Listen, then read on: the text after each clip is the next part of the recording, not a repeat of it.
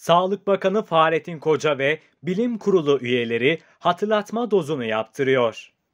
Haberin detaylarına geçmeden önce kanalımıza abone olmayı unutmayın. Güncel gelişmeler sizlerle olacak.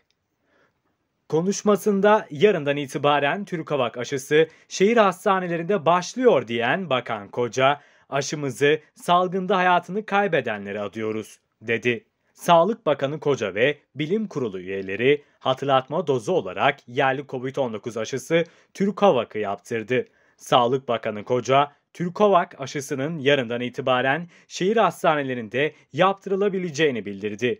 Öte yandan Ankara'dan sabah saatlerinde yola çıkan Türkovak yüklü bir tır İstanbul'a ulaştı.